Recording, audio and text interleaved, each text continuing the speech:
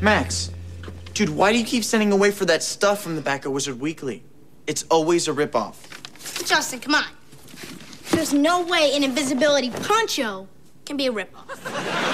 Watch, all I need to do is put this on, and I'm invisible.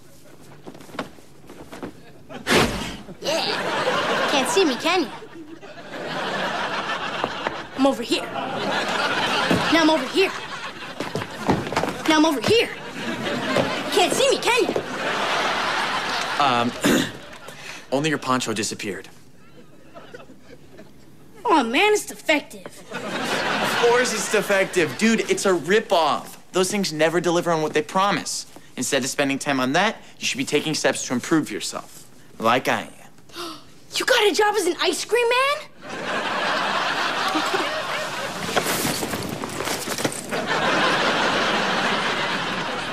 Tennis racket? It's gonna be hard to scoop ice cream with that thing. I'm taking tennis lessons. I've decided that taking up a sport will look good on the college application.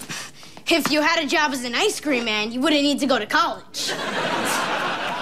Max, why don't you save yourself some time and heartache and put your poncho package up on your shelf of shame? ah, the amazing 3D glasses. Let's put these things on and take a look at what else you fell for, shall we?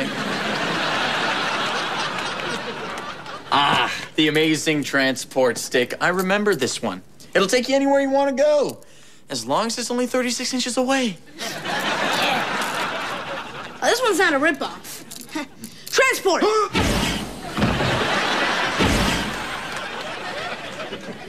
oh, yeah. Now I remember what the defect was.